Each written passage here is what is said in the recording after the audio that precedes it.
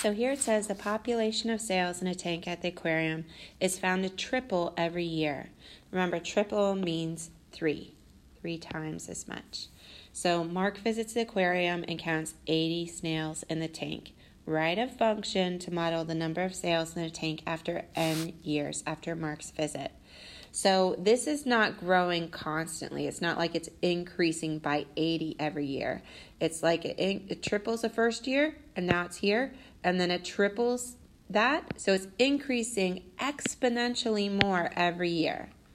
So this is an exponential function, and you need to remember about exponential growth. And what that is, is just to refresh your memory, you have A times B to the N, where A is the initial amount, like your starting amount.